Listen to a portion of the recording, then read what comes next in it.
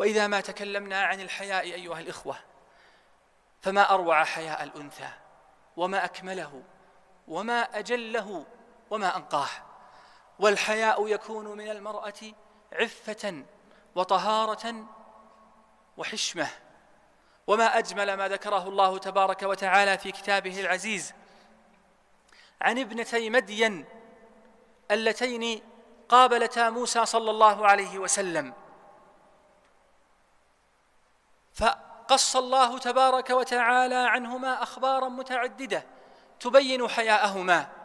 فأول ذلك أن بين حياءهما بالنأي عن مزاحمة الرجال.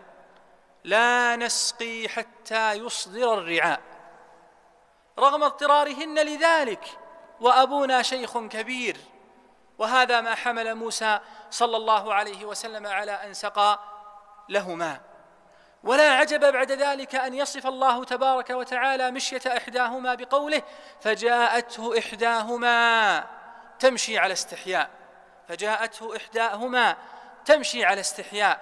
أخرج ابن أبي شيبة في المصنف عن عمر بن الخطاب رضي الله عنه أنه قال في ذلك قال أقبلت إليه ليست بسلفع من النساء لا خراجة ولا ولاجة واضعة ثوبها على وجهها.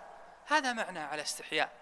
فجاءته إحداهما تمشي على استحياء أقبلت إليه ليست بسلفعة ليست جريئة ليست بسلفع من النساء لا خراجة ولا ولاجة واضعة ثوبها على وجهها.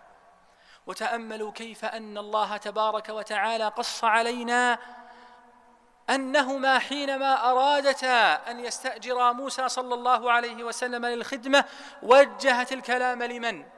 لموسى؟ لا. وجهت الكلام لأبيها حياء من موسى صلى الله عليه وسلم. فقالت إحداهما يا ابت استأجره لنا. ما قالت يا موسى نريدك اجيرا عندنا. حياء من هذه الفتاة تجاه موسى صلى الله عليه وسلم تجاه رجل غريب. ولذلك هذا ما حمل موسى صلى الله عليه وسلم على أن يختار إحداهما زوجة له. ولا يختار الله تبارك وتعالى لأنبيائه إلا خيرة النساء.